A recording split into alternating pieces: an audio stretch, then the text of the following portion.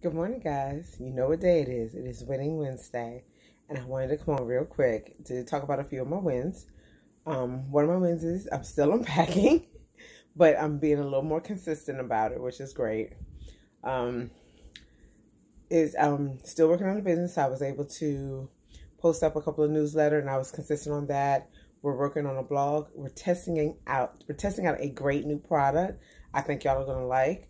Um, we're testing it out right now to see how how it's going to work for us for for right now.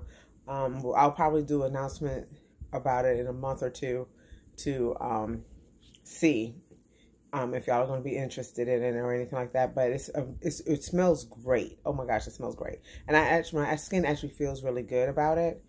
But um, I'm testing it out still just to make sure um, if there's no reaction time or no dryness or anything like that.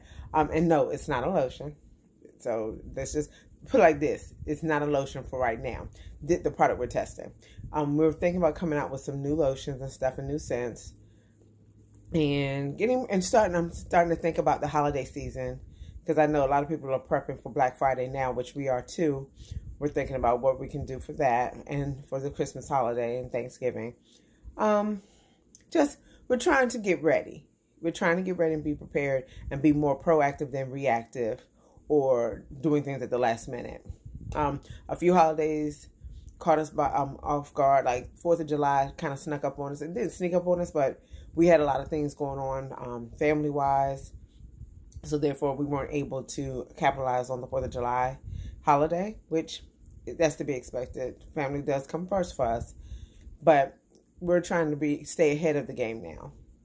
Um, that's I think that's about it. But um, I've committed myself to trying to eat a little bit healthier and drinking more water. So that'll start next month, which is tomorrow. So I'm, I'm committed to doing that. That's going to be my win for the whole month of July. And you heard me say it, so we're going to see if I can stick to it. I'll let y'all know. But other than that, what's y'all win? Leave your comment below let me know so we can go ahead and start celebrating you now. So remember to stay safe and stay decent. Talk to y'all later. Bye.